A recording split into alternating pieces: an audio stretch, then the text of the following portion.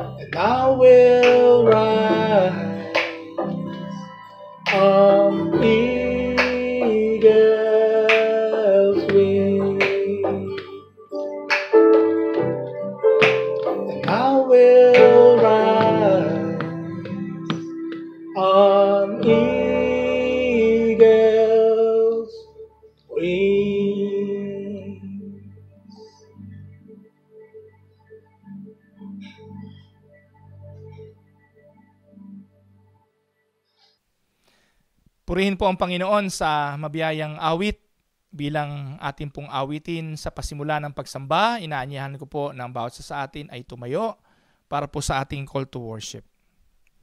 Sabay-sabay po tayo. But I, through the abundance of your steadfast love, will enter your house. I will bow down toward your holy temple in the fear of you. Lead me, O Lord, in your righteousness because of my enemies. Make your way straight before me. Psalms 5, 7 to 8. Sabay-sabay po nating sambitlain ang atin pong sinasampalatayanan. I believe in God the Father Almighty, creator of heaven and earth. I believe in Jesus Christ, God's only Son, our Lord, who was conceived by the Holy Spirit, born of the Virgin Mary, suffered under Pontius Pilate, was crucified, died, and was buried. He descended to the dead. On the third day he rose again. He ascended into heaven. He is seated at the right hand of the Father, and he will come to judge the living and the dead. I believe in the Holy Spirit, the holy universal church, the communion of saints, the forgiveness of sins, the resurrection of the body, and the life everlasting. Amen. Maaari po bang saglit tayong tumungo, tayo po ay manalangin. Ama naming Diyos na makapangyarihan sa lahat, pinapupurihan ka po namin. Ibinabalik po namin sa iyo ang lahat ng karangalan na you truly deserve. We humbled ourselves before you, Lord. Nais po naming humingi ng tawad. Ikumpisal ang lahat ng mga kasalanang nagagawa namin sa iyong harapan. Gusto po namin, Panginoong, sabihin ang mga bagay na alam naming naging hindi kalugod-lugod sa iyo. Patawarin mo po kami. Bigyan mo po kami ng kumpiyansa na muli ay magkaroon ng lakas ng loob na lumapit sa iyo at tawagin ka naming Ama. Sa araw pong ito, Panginoon, sama-sama po kami, ang aming mga kapatiran, hindi lamang yung mga nandito sa Canada, kundi sa buong mundo na nakikiisa sa amin pong pagsamba, ang diwa nawa ng iyong pagpapatawad at ng iyong kahabagan ang maranasan ng bawat isa sa amin. Lumalapit po kami sa iyo, Panginoon, sa oras na ito at inihiling na kung maaari ay tugunan mo po, Panginoon, ang aming mga pangangailangan sa araw-araw. Ibigay mo po sa amin ang kailangan ng aming mga buhay, hindi yung mga kalabisan ng aming hinihingi, bagkos ay ang kasapatan ng mga katugunan mo sa pangangailangan namin sa buhay. Samahan mo ang aking mga kapatid, lalo na po yung mga dumadaan sa mga matitinding pagsubok ng buhay katulad ng pagkawala ng mahal sa buhay, matinding kalungkutang hatid nito, ang mga nasa pagluluksa. Ilinadalangin namin, Panginoon, yung mga nasa pangangailangan, yung mga nag-iisip kung papaano tutugunan ang mga pantawid sa kabuhayan sa kinabukasan. Yun pong naghahanap ng mga hanap buhay. Yung pong mga kapatid namin na namumroblema na kung papaano sila magsusurvive sa kalagayan ng buhay ngayon.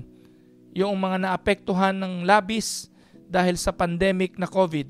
Idinadalangin ko po sila, Panginoon, bigyan mo po sila ng ayudang nanggagaling sa iyo at makita namin ang iyong kamay na umaabot sa amin pong mga pangangailangan. Idinadalangin ko po, Panginoon, ang bawat isang kapatiran ng UNIDA sa buong mundo. Sa amin pong patuloy na pagsasama-samang pananalangin, pwede po bang buksan mo ang iyong pandinig at kung hindi labag sa kalooban mo, igawad mo, Panginoon, ang kahilingan ng bawat isang dumadalangin ngayon yung may mga suliranin po sa relationship, idinadalangin po namin, Panginoon, papagkasunduin mo po sila. Bigyan mo po kami ng tapang na humingi ng tawad at magpakumbaba. Bigyan mo po kami ng lakas ng loob na makipag-ayos sa mga taong amin pong nakasamaan ng loob. Tulungan mo po kami, Panginoon, na magkaroon ng kapayapaan sa pamamagitan ng pakikipagkasundo. Dumadalangin din po kami, Panginoon, ng iyong patuloy na paghipo sa iyong mga manggagawa mga pastor, na sa araw pong ito ay magpapahayag ng iyong mga mensahe. Yun pong mga pastor namin dito sa Canada, ang pastor po namin sa Grand Prairie, ang pastor John Ocol, ang pastor po namin sa Fox Creek, ang pastor Jay Gayas, ang pastor po namin sa Lidok, Alberta, ang pastor Ruben Del Rosario, at ang pastor po namin, Panginoon, sa Daco po ng Calgary, ang pastor Raymond Makatumpag. We are also praying for Pastor El Capillar para po sa East Winnipeg Unida at ang mga kapatiran namin po sa Yorkton, Saskatchewan na alam po namin na sa oras na ito'y kasama rin naming sumasamba. Ang mga kapatiran at mga pastor po ng Unida sa Pilipinas. Sa araw pong ito, Panginoon, magsisimula ang selebrasyon ng amin pong uh, annual assembly sa Pilipinas ikaw po ang siyang manguna, magbigay ng wisdom sa mga leader ng simbahan na makapagpasya ng ayon sa iyong kalooban. Tinataas ko po sa iyo ang mga generales ng Unida sa Pilipinas, ang kanyang mga manggagawa. Nagpapasalamat kami, Panginoon, sa teknolohiya na meron kami sapagkat sa pamamagitan nito, magkakalayuman kami ay pinagbubuklod-buklod mo rin kami. Iamin pong idinadalangin ng mga may kaarawan, patuloy mo po silang pagkaloban ng mga buhay at kalakasan, ang mga may anniversary, anibersaryo ng kasal, ay patibayin palalo ang kanilang mga relasyon. Ang bawat isang kasama namin sa oras na ito, kung anuman ang kanilang kahilingan, itinataas po namin ito sa iyo. Maraming marami pong salamat sa iyo po ang lahat ng papuri. Sa pangalan po ng Panginoong Yesus, ito po ang aming dalangin. Amen and Amen. Pwede po bang ihanda natin ang ating mga sarili sa atin pong papuri sa Panginoon? Pangungunahan po tayo ng aking pong anak na si Yenyen, si Dayan Cruz at si Jolo Mejia sa isang awitin ng papuri sa Panginoon.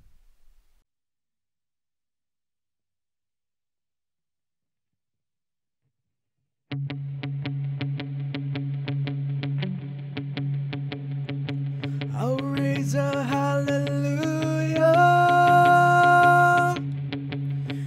presence of my enemies.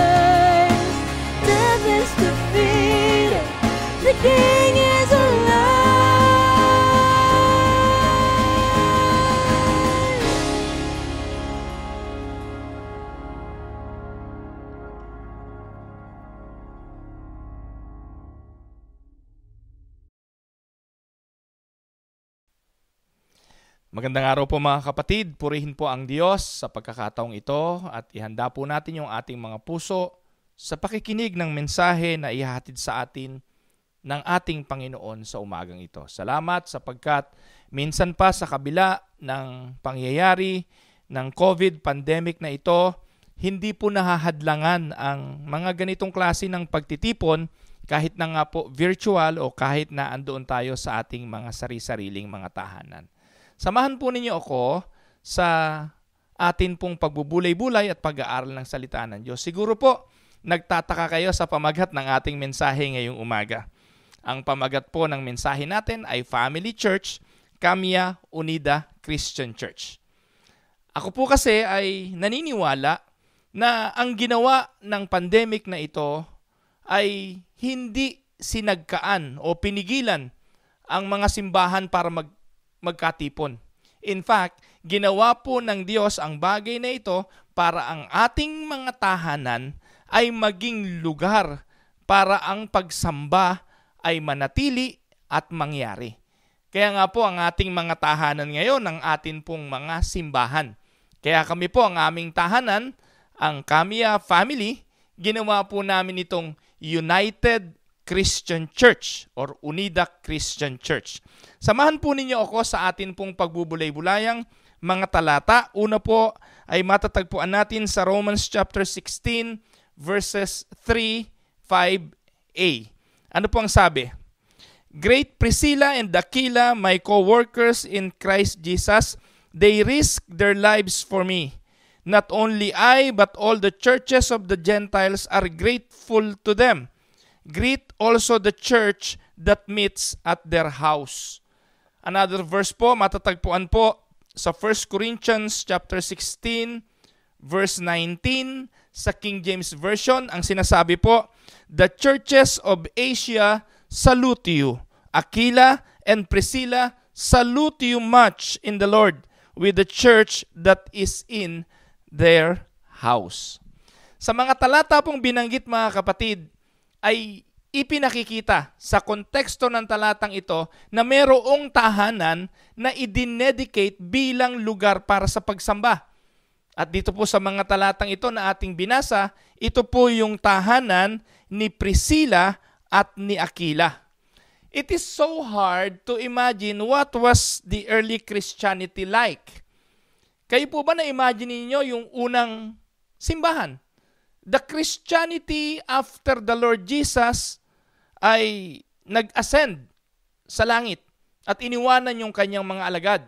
Pagkatapos na ma-establish after the Pentecost ang simbahan, papaano nyo ilalarawan ang kanilang mga pamumuhay? Meron ba sila kagaya ng mga ginagawa natin ngayon? Meron po ba sila ng mga bagay na kinasanayan ng, ng, ng present day church? O yung kung titingnan po ninyo ang ating mga simbahan, ang mga pagsambang ginagawa natin, kahawig kaya ng kanilang uri ng pananambahan noong nagsisimula pa lang ang simbahan? Actually, it is so hard to imagine. Pero let me give you some thoughts on this matter. What was early Christianity like? Una, I believe there were or there were no fine buildings. Ngayon po ang pinapangarap natin magkaroon ng building.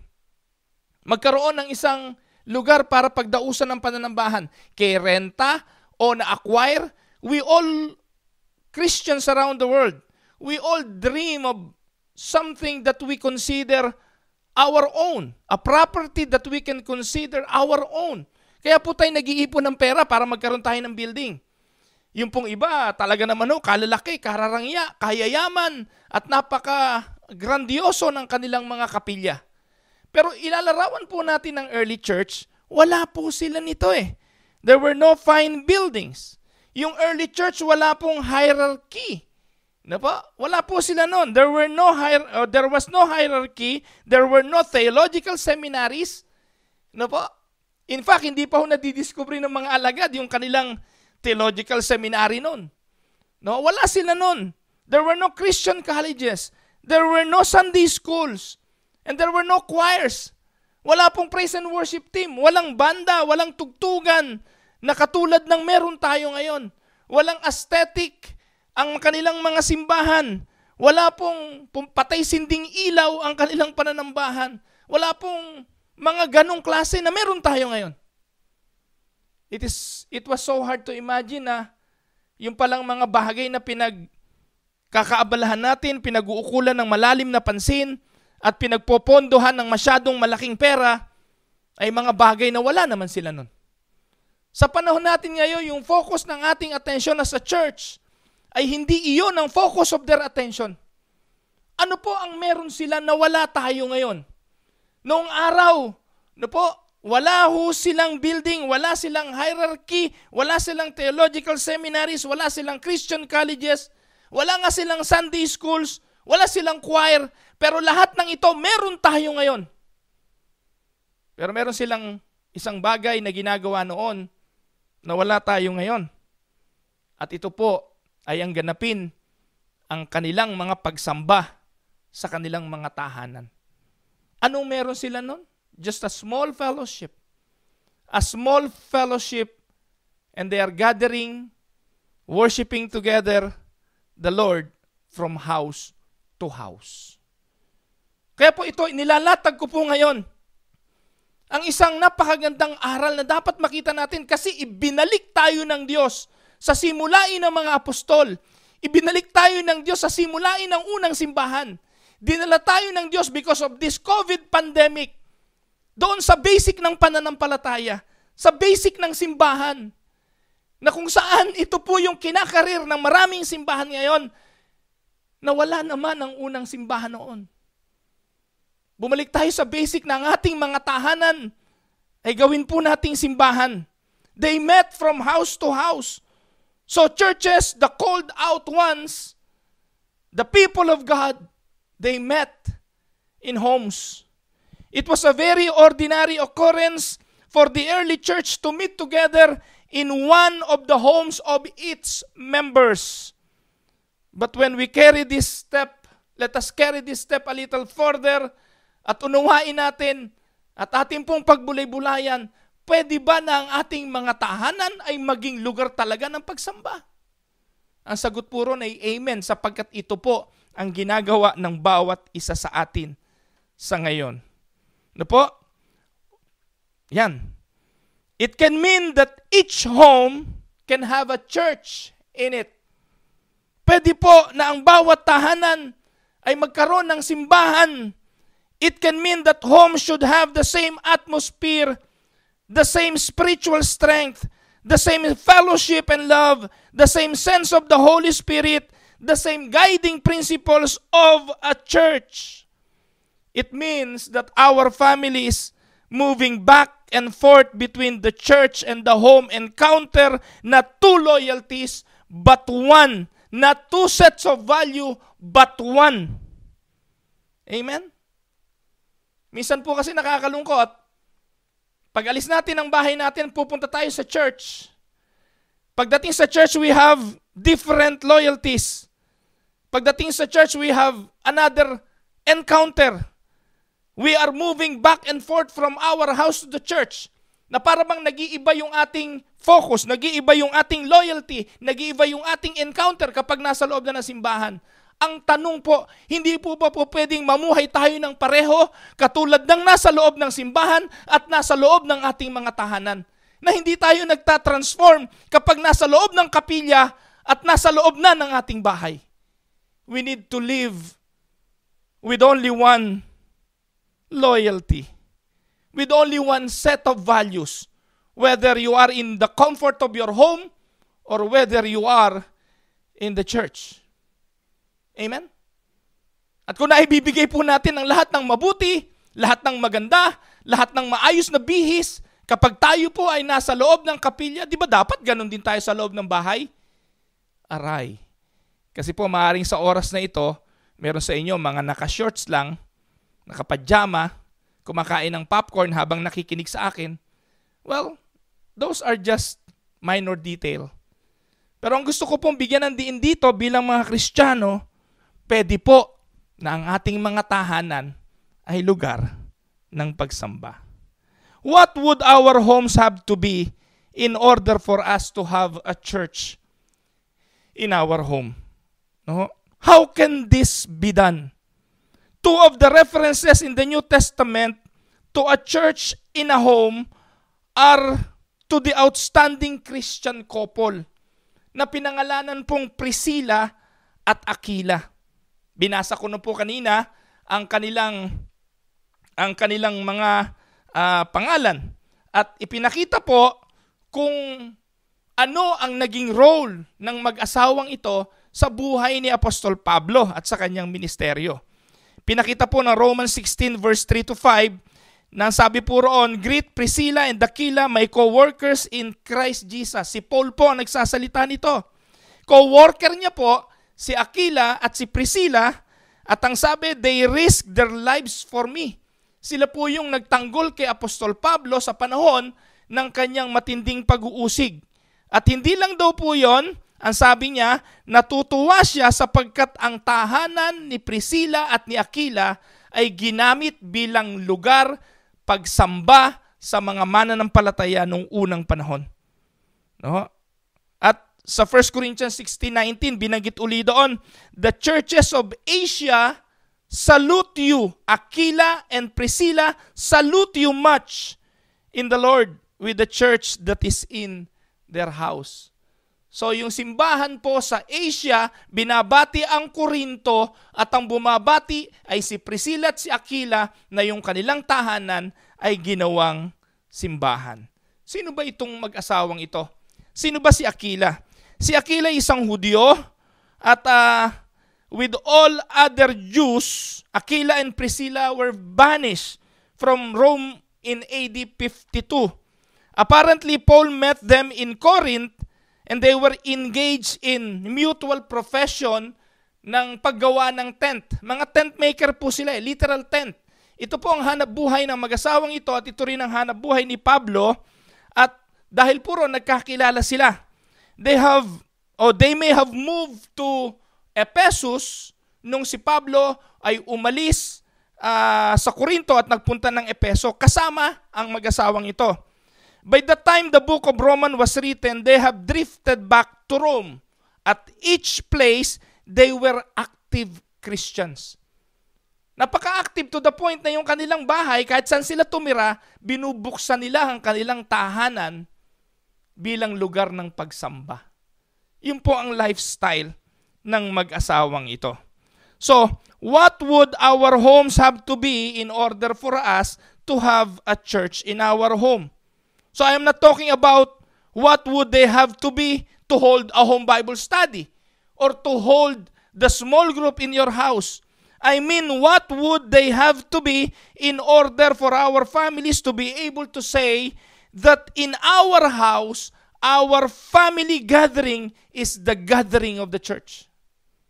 That is what I meant.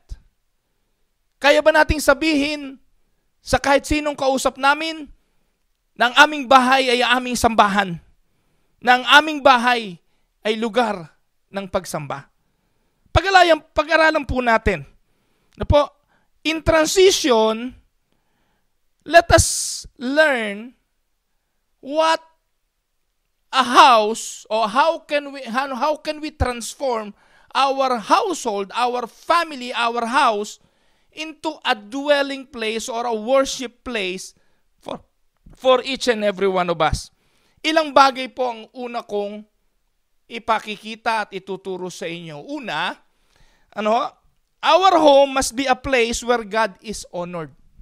Para maging simbahan ng ating mga tahanan, it must be a place where God is always honored. The question right now is, who is honored in most of our home? Who is honored most of the time in your home? Is it God? Or a famous sports figure? Or a current movie star? Or a singer? Or a political figure? Sino ang pinararangalang madalas sa iyong tahanan? Si Cardo? Si Probinsyano? Si Kim Chu? O yung mga channel ABS-CBN movie stars? O baka naman mga bidang Korean novela? Sapagkat ito yung madalas na bida sa ating mga buhay. Bida sa ating mga kwentuhan. Malalaman daw natin kung sino ang ating pinararangalan, kung sino ang madalas na buka ng ating bibig. Sa mga kwentuhan ba sa loob ng tahanan natin, sino ang madalas na bibigyang pansin at pagiging bida? Sino ang bida ng ating tahanan?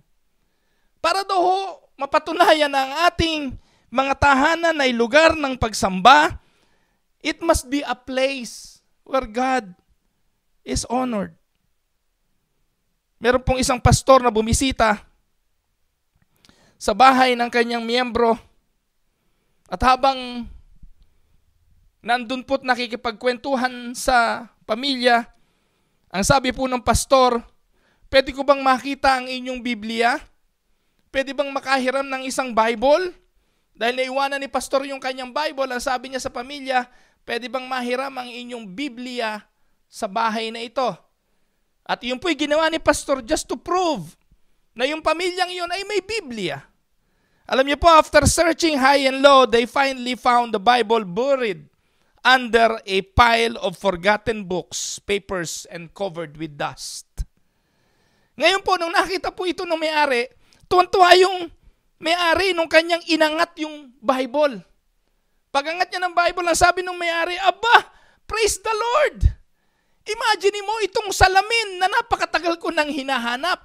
Itong eyeglass na to na napakatagal ko nang hinahanap. Nandito lang pala, natakpan lang pala ng Biblia. Alam niyo po ang sabi ni Pastor, yan po ang problema eh. Kung inyo pong binabasa ang inyong Bible at kung iyan ay inyong binubuksan, marami ho kayong matatagpuan ng mga bagay na mahalaga na nakatago dyan sa banal na kasulatan. It is not only a reading glass that you will see, but some or more important revelations na nakatago sa banal na salita ng Diyos if you will only open it and you will have time to read it. Kapatid, sa araw pong ito, sinong napaparangalan sa ating mga tahanan?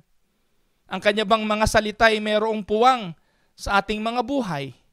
May pagkakataon ba tayong magbulay-bulay man lang sa kanyang mga pangungusap? Tandaang hindi lamang sa tinapay nabubuhay ang mga tao, kundi sa bawat salitang lumalabas sa bibig ng Panginoon. Ang tataba na ho natin dahil sa quarantine. Ang lulusog na po natin kakakain ng mga bagay na physical. Pero kumusta ang ating mga buhay spiritual? Are we eating food for the sustenance of our spirituality? Or are we sick spiritually because of lack of food? Are we eating healthy food for our souls? If God is truly honored in a home, then the people in the home will be more honored.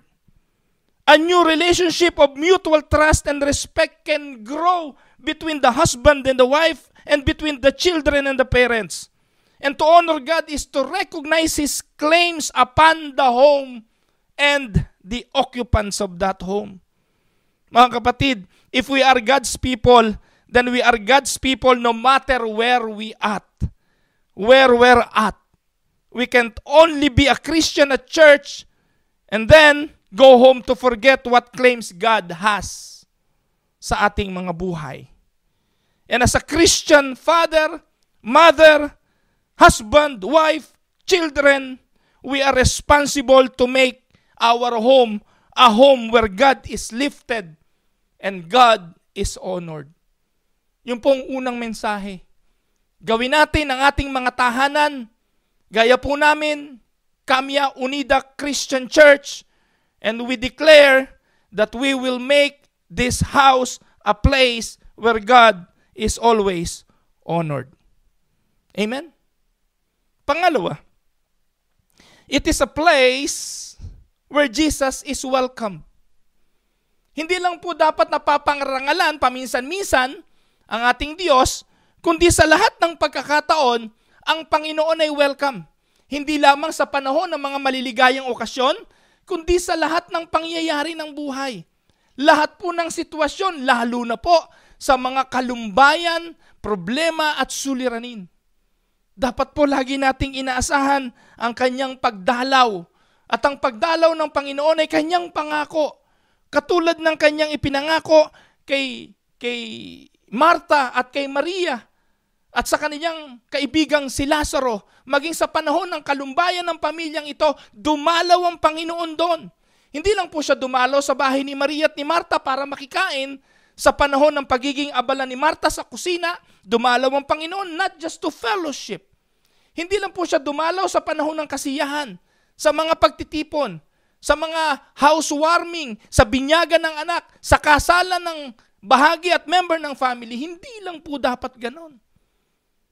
Kundi sa lahat ng pagkakataon, imagine ninyo sa panahon ng matinding pangangailangan na dahil sa kalungkutan sa pagpanaw ni Lazaro,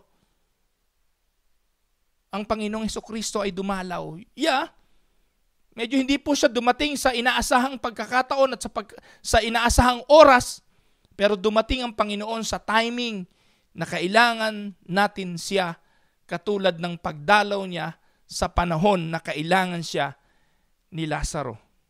A place where Jesus is welcomed.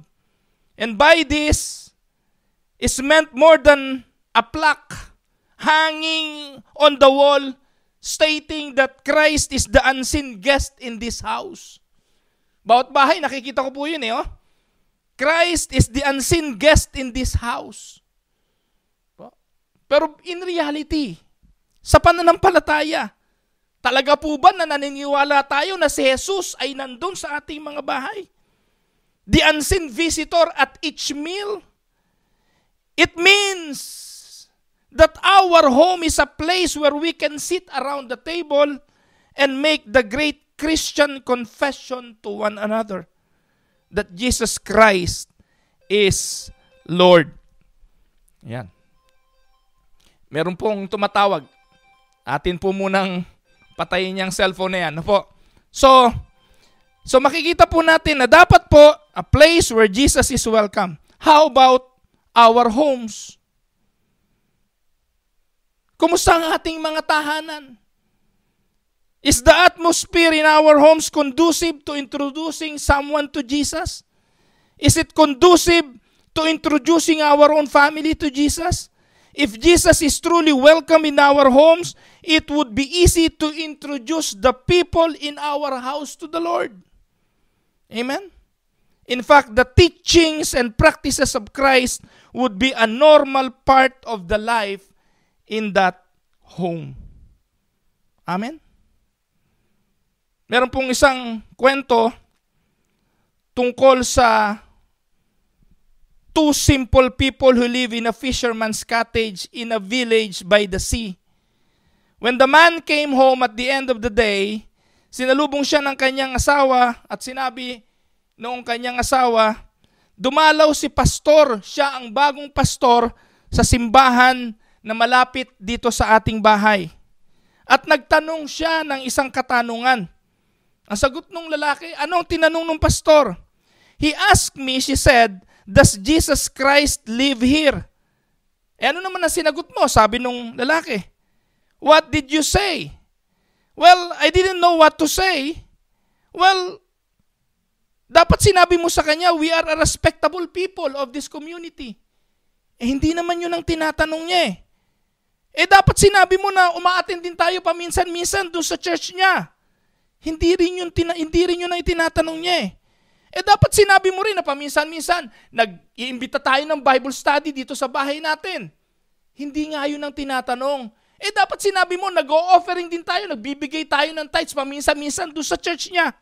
Hindi nga rin yun ang itinatanong.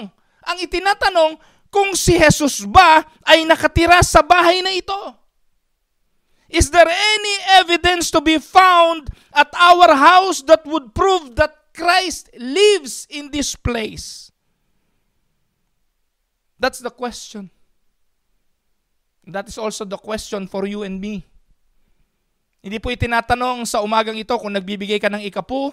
Hindi po itinatanong kung ikay kumakanta sa simbahan, kung ikay may ministeryo, kung ikaw ay magaling magsermon, kung ikaw ay nakakakabisa ng kalahati ng Biblia, kung ikaw ay well-versed sa pagbuklat ng Biblia, hindi po iyon ang itinatanong.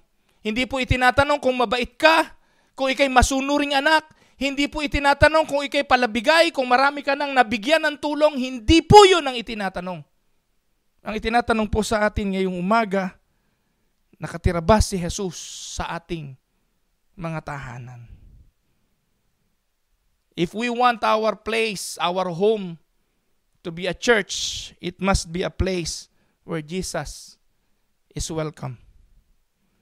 Are there unmistakable attributes of Jesus Christ in our homes?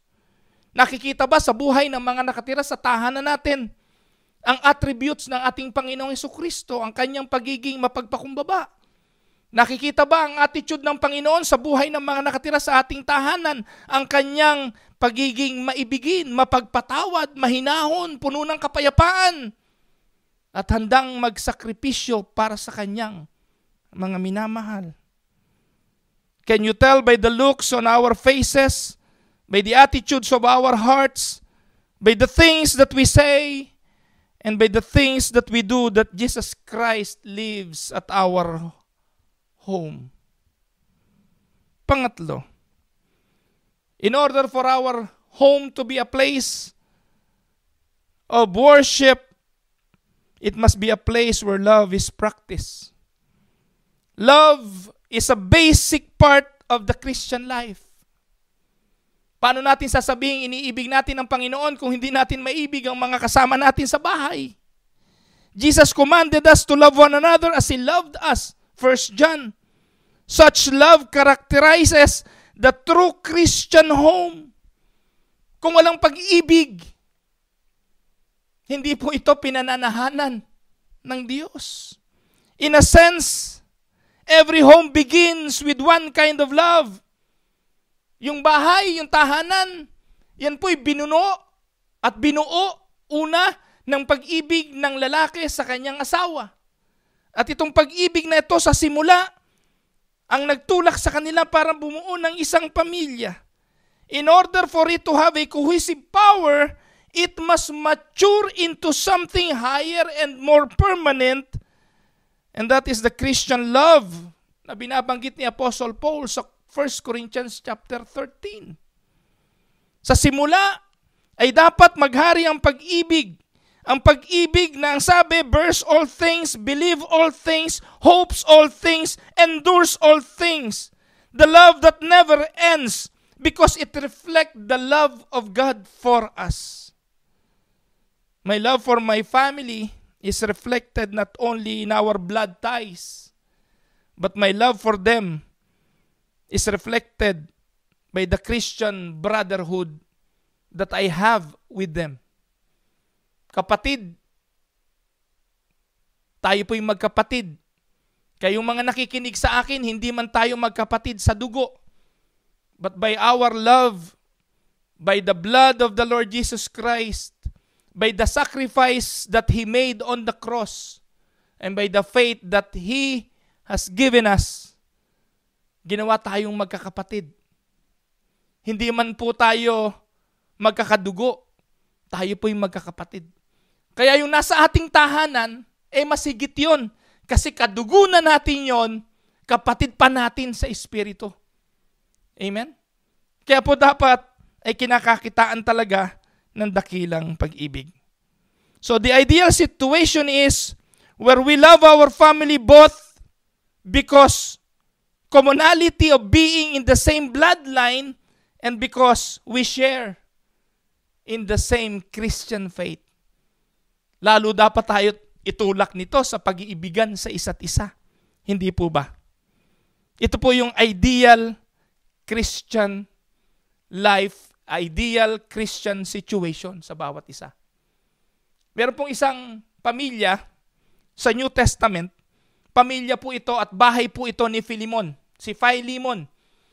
Sumulat po si Pablo, meron po siyang sulat, sulat niya kay Philemon. Sa bahay po kasi ni Philemon, Christian home yon. Ito po isang Christian family, pero sa loob ng Christian home na yon, may isang alipin. Na ang pangalan po ng alipin na ito ay si Onesimus. Si Onesimus. Hindi po malinaw kung ano ang nangyari at itong si Onesimus ay tumakas sa bahay ni Philemon. At sa kanyang pagtakas, nakarating siya ng Roma.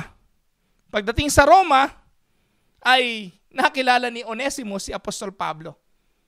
At doon po sa Rome, no, tinanggap niya ang Panginoon at naging isang mananampalataya ng Panginoong Heso Kristo. At dahil po doon, na-realize niya mali yung kanyang ginawa sa kanyang amo na si Philemon. Gusto niyang bumalik. Pero natatakot siya na sa kanyang pagbalik ay parusahan siya. Kasi po ang mga alipin during that time ay personal property ng amo. Pwedeng gawin ng amo kung anong gusto niya. Pwede niya itong ipapatay, pwede niya itong ibenta. Oh. Kaya po natatakot itong si Onesimus. Kaya po si Pablo na magitan at doon po napasulat ang isang maliit na aklat sa New Testament. The Book of Philemon. At kinausap po ni Pablo si Philemon at sinabi niya to receive Onesimus and forgive him. For that to be done, For that to happen, kailangan si, si Philemon ay magbukas ng kanyang puso at ng kanyang tahanan para sa kapatid na ito. And that means offering his love to him and forgiving him. Mga kapatid, ang tanong sa ating mga buhay, is Christian love practice in your home? Minsan po sa loob mismo ng bahay natin, ang samaan ng loob, katagal-tagal na hindi magawang magpatawaran. Ang galit, ang inggit, magkakapatid. Marami na po akong nakita, magkakapatid sa kapirasong lupa hanggang ngayon hindi nagbabate. Magkakasama sa isang tahanan, nag-uyu-uyuhan kung sinong mag-aalaga sa kanilang mahina at may sakit na magulang. Marami po akong kilalang ganito na konting pera pinag-aawayan, konting bagay hindi magkasundo. Well, kung hindi mga mananampalataya at hindi nagpupunta sa simbahan ng mga binabanggit kong mga tao, okay lang. Pero nakakalungkot, pagdating ng linggo, kanya-kanya sila ng simbahan. Meron po akong kilala eh. Iba-iba sila ng simbahan. Okay naman yung magkakapatid, nagkakasundo sila, pero yung mga manugang, yung mga asawa, yun ang magkakaaway. Kasi inggitan eh. At nakakalungkot marami nito. Hindi matutong tumanggap. Ano kayang narinig nila sa simbahan na mga mensahe tungkol sa pagpapatawad? Pasok sa kaliwa, labas sa kanan? Ano kayang mga narinig lang mensahe tungkol sa kapakumbabaan? Pasok sa kaliwa, labas sa kanan? Ano kayang pagkakataon ang kailangan mangyari na kung saan matatauhan sila para magbigay ng pag-ibig at kapatawaran? bato-bato sa langit, tamaan, bukol. Pero mga kapatid, napakadaming ganito. At nakakalungkot. Mga magkakapatid, pare-parehong tawag ay mananampalataya. Pero hindi kaya kinakakitaan ng pag-ibig sa isa't isa. Magkakapatid sa laman. So, in order for our house, our home to be a place of worship, it must be a place where love is practiced. Amen? Pangapat, it must be a place where Christ is obeyed.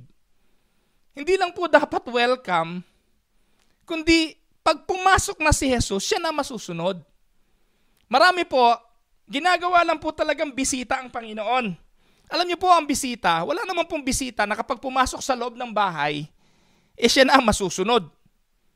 Siyempre, masusunod pa rin may-ari ng bahay.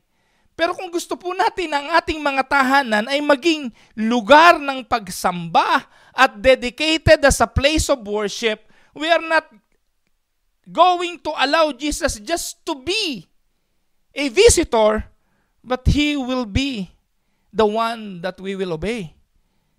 Ngayon ang tanong, who is the final authority at your house? Some men will say, ako yon, I am the head of the household. Some women just as proudly will say, I will let him think he's the head of the household, pero I am the neck. At kung saan ko ipaling yung ulo, susunod yung ulo. Ganun yung ibang mga babae, di po ba? Well, mga kapatid, I know of a homes where the husband is in charge. I know of homes where the wife is in charge. Ano po? Meron po niyan. Si Mrs. ang magsasalita, siya masusunod, siya lahat. Ano po? Yung mga mister na baw lang ng baw. Kasi ang katwiran na marami ngayon, a happy wife is a happy life. Ano po? Meron pong ganun. I know a home where the husband is in charge, a home where the wife is in charge, but I know a homes where the children are in charge.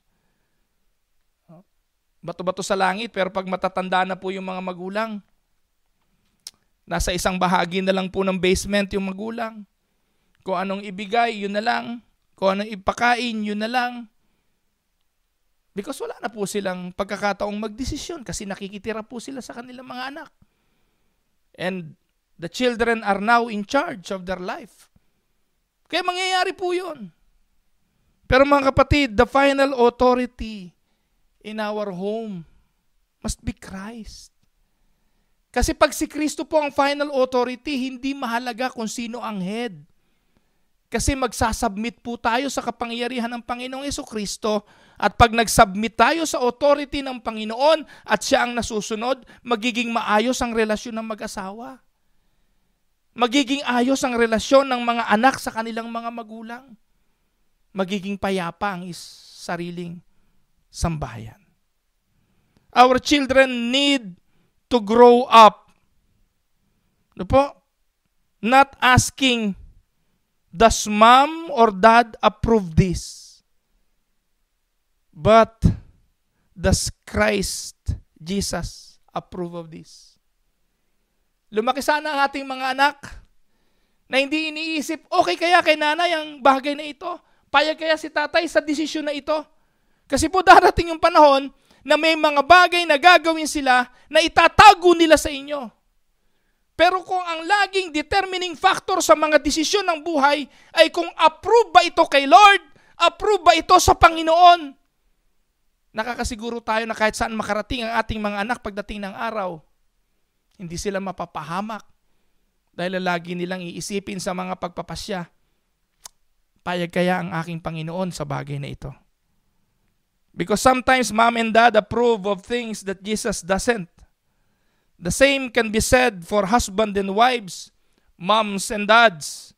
The husband shouldn't be thinking, I wonder if my wife will get mad if I spend this money on fishing. If I spend money on buying liquor or whatever you want. We should be thinking, what does Jesus want me to do with this? It should be the question in our mind as we decide on things. Payag kaya ang Panginoon? Malulugod kaya ang Panginoon? And what would Jesus do kung gagawin ko to? Si Jesus dapat, yun po yung sinasabing pakitang Diyos. Hindi pakitang tao. Hindi yung approval ng tao, hindi approval ni Mrs., hindi approval ng mga anak, hindi approval ng mga magulang ang pinakamahalaga at the end of the day, yung approval ng ating Panginoon. Kasi hindi natin siya kailanman matataguan. Pakitang Diyos, hindi pakitang tao. Amen? If we are living out our lives in obedience to Christ, the rest of our family will see and hopefully they will start living their lives in the same way. It seems that everywhere our example today, Aquila and Priscilla went, kahit saan sila pumunta, they had a church in their house. They were obedient to Jesus Christ. They were interested in His mission. They took seriously His commandment as a witness and to minister. And my prayer is, sana po ang bawat isa sa atin na nakikinig ngayon, manalangin at magdesisyon ng ating mga tahanan ay gawin nating lugar ng pagsamba hindi lang dahil may pandemic kundi mula ngayon hanggang sa mga susunod na panahon hanggang sa magkaroon na rin tayo ng pagkakataong magsama-sama at magkatipon bilang magkakapatid pag-uuwi natin our church and our home will live as one virtues to follow, one loyalty to obey, and one commitment, and that is to serve the Lord our God. A church in your house and in mine is a real responsibility but a possibility. We can make our house, our home, our church. By practicing God's love in our home, we reflect a home that is truly committed to Christ Jesus. Tayo po'y tumungo, tayo po'y manalangin. Pinupuri, pinasasalamatan ka namin, Panginoon, aming Ama, sa pagbibigay ng paalala sa amin ng aming mga buhay ay italaga bilang pagsamba sa iyo. Na italaga ang aming mga tahanan not only because there is a pandemic happening right now, kundi italaga namin ang amin pong mga tahanan at ang aming buhay bilang lugar ng pagsamba sa iyong dakilang pangalan. Nawa po ang mensaheng aming napakinggan ay tumatak sa aming mga puso, humamon para lalong magpatuloy, humamon para ibigin namin ang aming mga mahal sa buhay, humamon para magpatawad, at kilalanin namin ang aming mga kahinaan. At patawarin mo kami, Panginoon, sa amin pong mga pagkakasala. Sa iyo po, we bring back all the glory in Jesus' mighty name. Amen and amen. Ngayon po mga kapatid, makakarinig po tayo ng isang mensahe sa awit mula po sa ating kapatid na Totoy Eliser Capillar.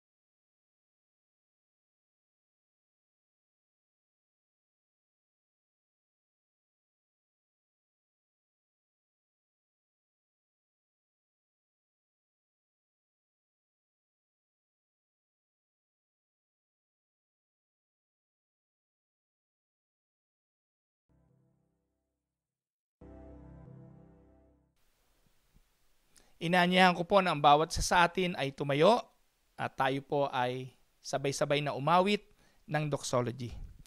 Praise God from whom all blessings flow. Praise Him all creatures here below. Praise Him above, yea, heavenly host. Praise Father, Son, and Holy Ghost.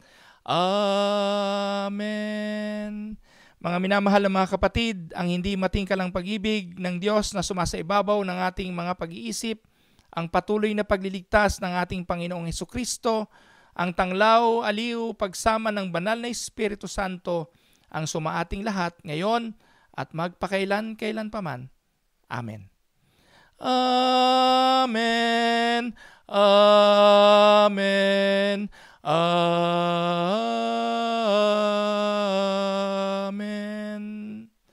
Magandang magandang tanghali po sa ating lahat, mga minamahal na mga kapatid. Purihin ang Diyos sa inyo pong patuloy na pakikisa sa gawain ng Panginoon through this uh, live broadcast sa uh, Facebook at sa YouTube. Kung hindi pa ho kayo uh, nakaka-subscribe sa YouTube channel ng inyong lingkod, mag-subscribe po kayo kasi po hindi po natin alam kung hanggang kailan ang pandemic na ito mananatili pong sa ganitong uh, platform po natin gagawin ang atin pong mga gawain at uh, mahalaga po na patuloy po nating masubaybayan ang mga announcement at ang mga susunod pa nating gawain. Gusto ko lamang po mga kapatid na ipaalala na ang atin pong simbahan ay patuloy na merong mga pananagutan. Kasama po doon ay ang atin pong mga bayarin doon po sa lugar na ating nirerentahan kahit hindi po natin yung nagagamit because it is part of the contract with that particular building. So ako po ay nakikiusap sa inyo na yun pong ating mga offering. Batid ko naman na ang mga kapatiran ng UNIDA ay very faithful at generous when it comes to their offering. Pinapaalala ko lamang po. Ipunin po natin yan at malapit na po na tayo po'y muling magkakasama-sama at uh, maging tapat po lalo tayo sa atin pong mga pananagutan at tungkulin sa atin pong mahal na Panginoon. Kaya nga po, uh, pang siyam, uh, pag nine weeks na po ito, kung hindi ako nagkakamali, ng atin pong gawain sa pamamagitan ng ganitong plataforma. Sana po dalangin nga natin na sana'y makapagtipon-tipon na po tayo. Again, may I remind all of you na mag-take precautionary measure pa rin ho at konting ingat sa mga paglabas, sa mga pagpunta sa mga public places at uh, let us follow uh, yung tinatawag na social distancing pa rin. Wear your face mask at patuloy po nating alalahanin na ang kalaban natin ay hindi natin nakikita. Kung nakikita lang ho natin, talagang may iwasan natin siya. Pero maganda po ang balita, kahapon po narinig ko na meron na pong vaccine na na-develop ang Amerika. So sooner or later, it will be available in the market at magkakaroon na po ang buong mundo ng vaccine na ito. So maraming marami pong salamat. May you enjoy your uh, luncheon fellowship at uh, magsalo-salo po ang pamilya ng maayos at maligaya. Uh, bukas po, again, inaanyayahan ko kayo sa Tinig ng Pag-asa. Monday to through Friday po ang Tinig ng Pag-asa. At sa Wednesday po ang atin pong prayer meeting. Sama nyo rin po sa panalangin. Nakikiisa po tayo sa pagdiriwang ng UNIDA Philippines sa kanilang uh, general o annual assembly. I don't know paano po gagawin ito pero palagay ko po they will also do uh, be doing the anniversary through uh, online oh, sa pamamagitan po ng social media. So again, maraming marami pong salamat. Pagpalain po kayo ng Panginoon hanggang sa susunod po nating pagkikita. God bless everyone.